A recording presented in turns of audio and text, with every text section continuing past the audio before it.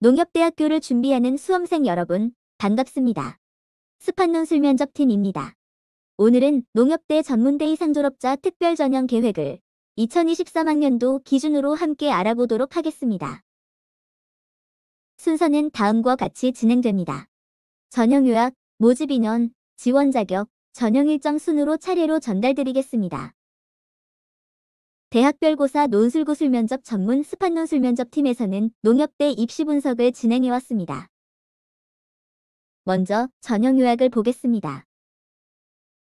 전문대 이상 졸업자 특별 전형의 주요 내용을 한눈에 확인하실 수 있습니다. 전형 방법을 살펴보면 1차 전형은 전적대학교 성적 30%, 논술 70%를 반영해서 선발합니다.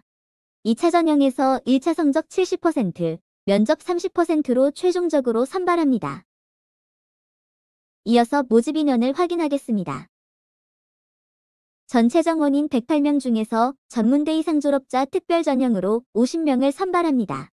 제일 많은 인원을 전문대 이상 졸업자 특별 전형으로 선발하는 것을 알 수 있습니다. 이어서 지원 자격은 무엇인지 확인하겠습니다. 전문대 이상 졸업자 특별 전형 지원자는 국내 전문대학 또는 4년제 대학 졸업자 또는 4년제 대학 2년 이상 수료자로서 70학점 이상을 이수하여야 합니다. 마지막으로 전형 일정을 알아보겠습니다. 주요 일정을 확인하실 수 있습니다. 논술고사는 23년 1월에, 합격자 발표는 23년 2월에 예정되어 있습니다.